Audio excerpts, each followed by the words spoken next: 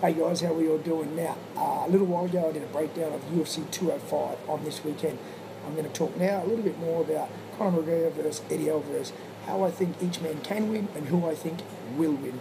Uh, for Eddie to win, I really believe he needs to fight the same style he fought against Anthony Pettis, which is very much a wrestling-based style. He got him close, got him against the fence, took him to the ground, ground and pounded us, outworked him there, and made it an awkward fight for Anthony, who couldn't fight his style, which was at range. But I believe Conor McGregor is in Eddie Alvarez's head. I believe he's going to make him overcommit and be overly aggressive. And if you do this, you very often get caught out of position. And when you get caught out of position against someone like Conor McGregor, who's very good at throwing the counter punch, throwing a left hook, throwing a straight right, you are going to get caught. That is how I see Conor McGregor winning this fight. First or second round by a knockout.